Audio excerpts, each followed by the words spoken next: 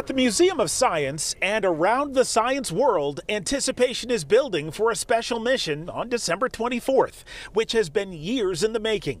NASA's Parker Solar Probe will come within 3.8 million miles of the surface of the sun. If you were to put the sun and the earth on a football field, Parker Solar Probe will be at the four yard line between the sun and the earth. This is, of all things humanity has ever made, the closest to the sun we've ever gotten. Despite the extreme heat, this mission is scientifically possible through cutting edge heat shield technology.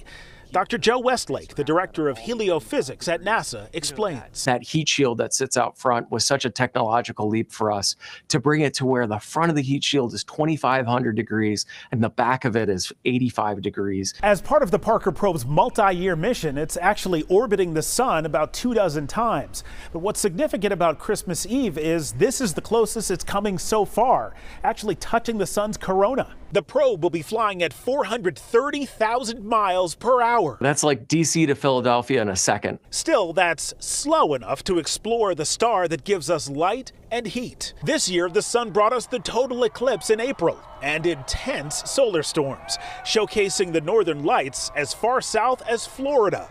Locke Patton is an educator at the Museum of Science. And all of that data is constantly going to come back to Earth, and we're getting a sense, we're figuring out how solar winds are made.